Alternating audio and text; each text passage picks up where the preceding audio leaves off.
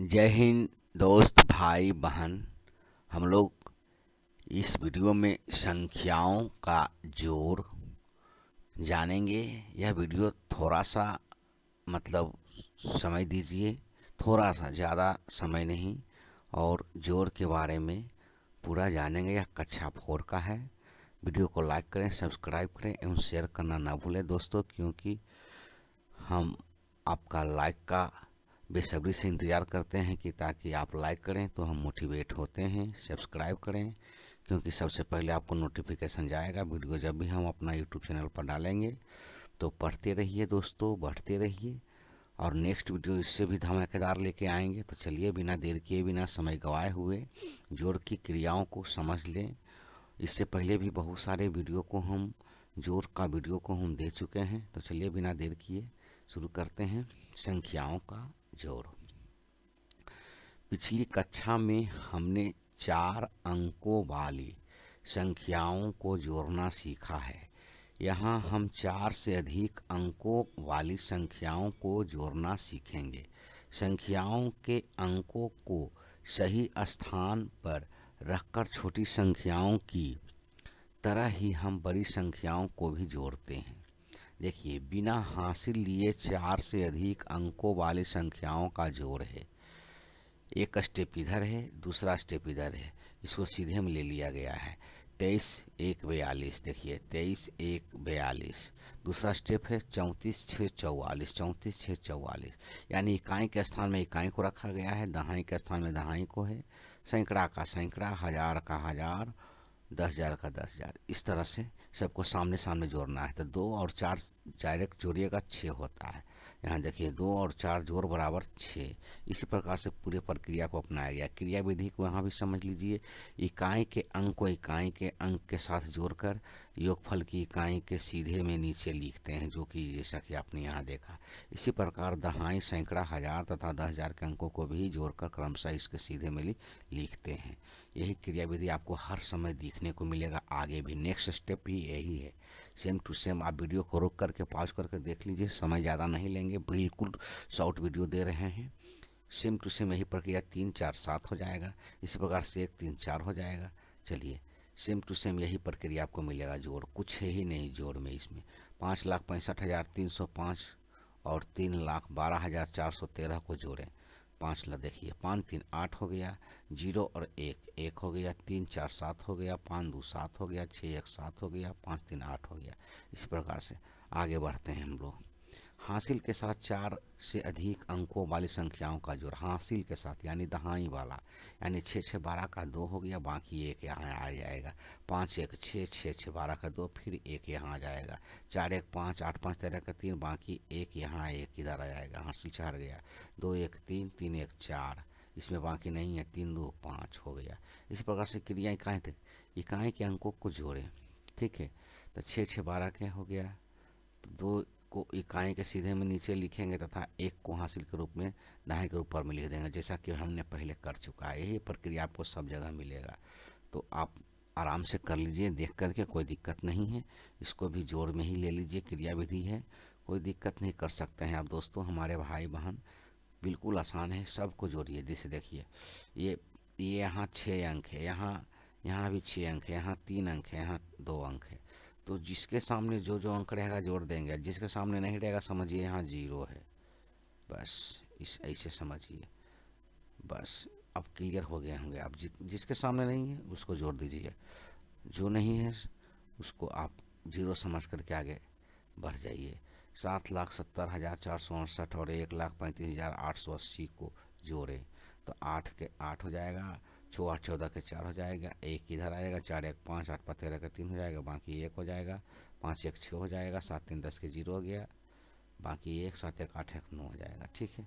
नौ लाख छः हज़ार तीन सौ अड़तीस, अड़तालीस, ठीक है? इस प्रकार से आप कर सकते हैं, कोई दिक्कत नहीं।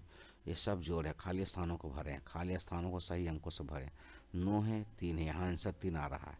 तो क्या भराएगा यहाँ पर? तीन आया है तो यहाँ पर आ जाएगा यहाँ जब खाली स्थानों को भरना है, ज़ोर ही है। यहाँ आंसर तीन आया है। तो यहाँ क्या भराएगा कि तीन आ जाएगा? तो यहाँ चार रहेगा। डायरेक्ट अपना मन से नौ तेरह। बाकी एक यहाँ आ गया। इसी प्रकार से तीन एक चार सात चार ग्यारह के एक, बाकी एक इधर आ गया। नौ एक दस दस और यहाँ क्या आ जाएगा? दस पाँच पाँच रहेगा। दस, पाँच, पंद्रह के पाँच, बाकी एक तो एक और चार। एक चार यहाँ क्या दिया जाएगा? कि ताकि यहाँ आ जाएगा, यहाँ तीन रहेगा। तीन एक चार चार आठ हो जाएगा। बाकी यहाँ पर कुछ नहीं, ऊपर है, नीचे ज़ीरो, नौ के नौ आ जाएगा। इस प्रकार से आप कर सकते हैं पूरे स्टेप को समझ करके। वीडियो को रोक लीजिए पॉज कर लीजिए। अच्छा से आसानी से पूरा किराए वीडियो को पढ़ लीजिए, समझ लीजिए, हो जाएगा। जोड़ के कुछ गुणधर्म भी हैं, जो बिल्कुल आसान है, तीन दो पाँच है, चार एक पाँच है।